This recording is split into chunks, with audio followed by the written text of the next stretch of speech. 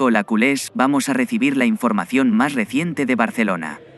Pero antes, suscríbete al canal y activa las notificaciones para estar al tanto de toda la información de nuestro Barça. Sin bobinado Bora Providio. El Barcelona está activo en la ventana de transferencia actual, pero ya está pensando en la próxima temporada. Según el diario Sport, el club comenzó a trabajar para intentar el regreso de Messi, que hoy está en el Paris Saint-Germain.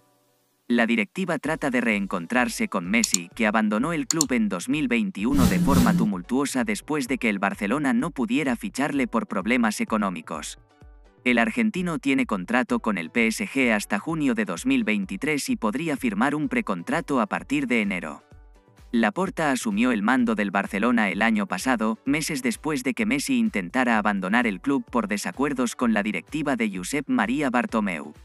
El nuevo presidente, que también era el mandatario en la época del debut del argentino, vio al astro cambiar de opinión y pasar a querer renovar su contrato con el Barcelona. Sin embargo, tuvo que despedirse por cuestiones financieras. Joan Laporta trató de encontrar la manera de renovar el contrato de Messi, pero también de cumplir con las reglas del fair play financiero de la liga.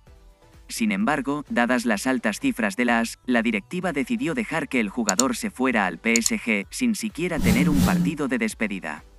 Por eso, Laporta no oculta que estaba molesto con el proceso. ¿Culés les gustaría que Messi volviera al Barcelona? Bueno, deja tu opinión, me quedaré aquí, hasta luego.